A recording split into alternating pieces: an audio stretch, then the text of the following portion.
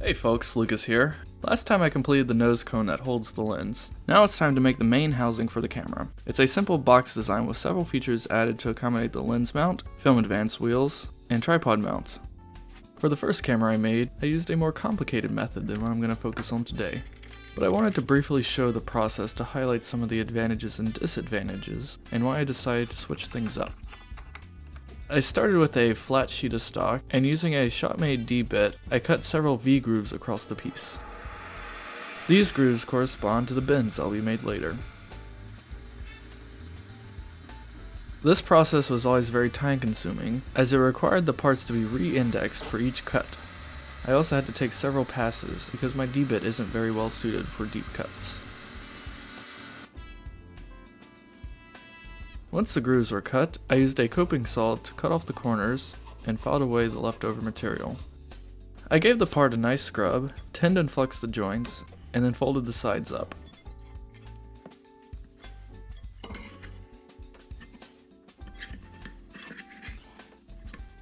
I check that all the sides are square before moving on. Brazing the seams is where the majority of problems would begin. I always had problems getting the solder to flow, and if it does flow, it doesn't offer a very good hold. And more often than not, the aluminum starts to melt before the joints are complete. And that's exactly what happened to this one. So, I decided to splurge and get one of these fancy TIG machines. A welder can open up a lot of doors for a home gamer like me, and it completely changes the way I can approach a project. So I decided to scrap everything I was doing and remake the body by welding. Instead of using one piece of sheet metal that I bend, I decided to go for bar stock that I can cut to length and weld together. I'm using 1 8 inch thick aluminum. For the front, I'm using a 4 inch wide piece, and for the sides, 1.5 inch wide aluminum. I marked the pieces to length, and using a chop saw, I cut them down to size. These woodworking saws are great for cutting aluminum. It goes through it like butter. Next, I mark out the holes for the Film Advance hardware. These need to be perfectly aligned on the top and bottom, so I created a jig that keeps everything where it should be during welding. I first drill a 3mm hole through both pieces, and then remove one and drill a half inch hole through one of them. I do this for both sides. Using a router, I chamfer the edges that will be welded. Because I'm using butt joints instead of outside corner joints, these chamfered edges will help me get better penetration. Now it's time to clean the metal. Prep work is very important for welding, so I scrub all the joints with a Scotch-Brite pad and then wipe them down with acetone. Now it's time to assemble the jig for welding. The idea of the jig is to line the holes in the top and bottom plate and keep the sides nice and square.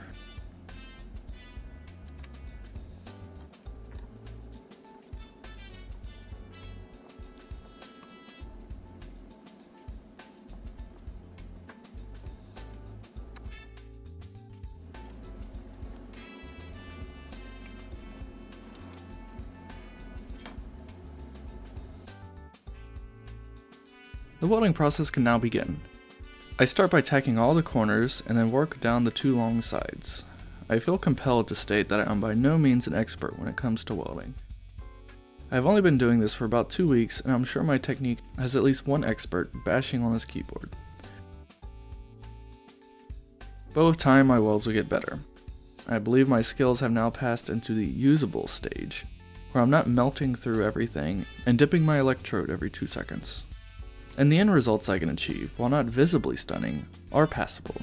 That being said, I am continuously working on improving my skills, and with enough time, I'm sure I'll be able to trade punches with the big boys.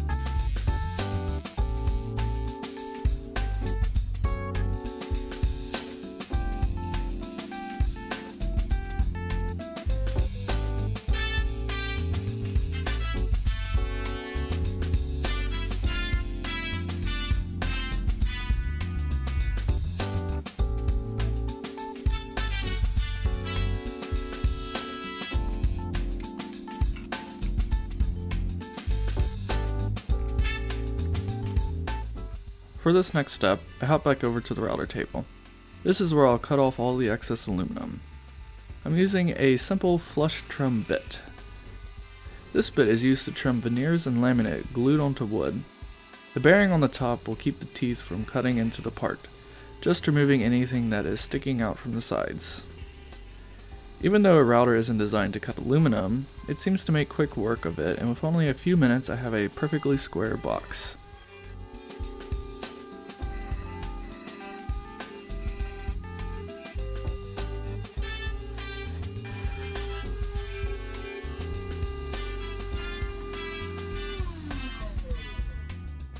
The router doesn't leave a good finish though, but a few minutes with some 100 grit sandpaper makes the sides perfectly smooth.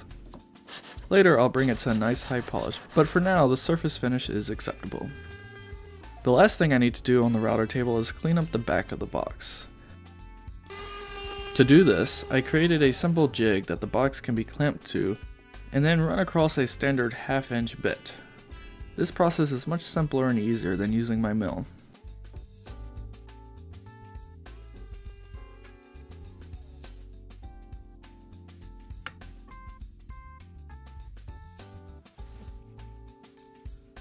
With the box now complete, I need to cut a large hole in the front to accept the nose cone we made in the last episode. This hole will be about 68mm across, so far larger than any drill bit I have, but I have a few tricks up my sleeve. First, I mark the center of the hole and use strap clamps to mount it to my mill. Using an annular cutter, I make a half inch hole in the center.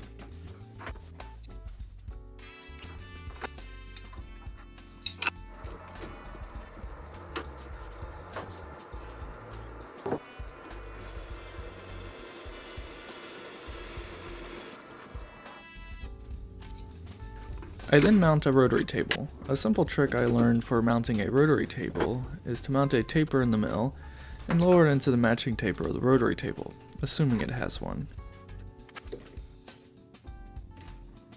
This method isn't perfect, but for applications like this it's well within tolerance. I then use the half inch threads on the other side of my taper to attach the body using the hole I just made. By offsetting the x-axis and spinning the rotary table, I can now make a perfect hole of any size.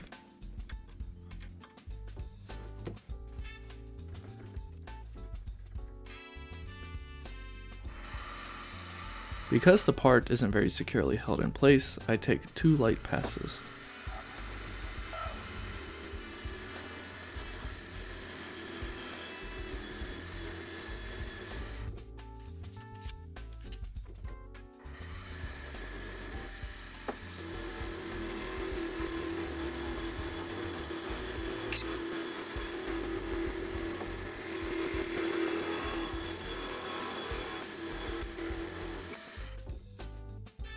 Everything worked just to plan, except for my math. I didn't appropriately account for the size of the cutting bit, so my hole is too small, but thankfully I'll have a second chance to get it right. I clamp down the body for a second time and attach a boring bar. I can now open the hole to the correct measurement.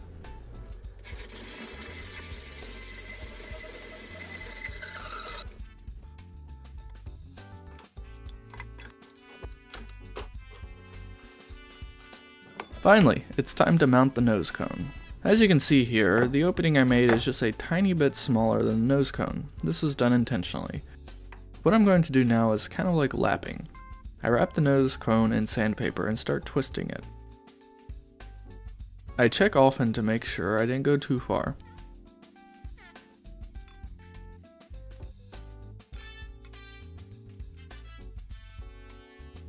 When the hole in the body is only a few thousandths too small, I can permanently bond the two parts. To do this, I use a torch to heat up the body. Off camera, I have the cone sitting under ice cold running water. What is happening is the body will expand by a small amount, and the cone will shrink by a small amount. When they are brought together, the temperature will equalize, causing the body and nose cone to be very tightly bound together. I quickly check that the top of the nose cone is level, and to check the strength of the bond, I give it a few good whacks with a mallet.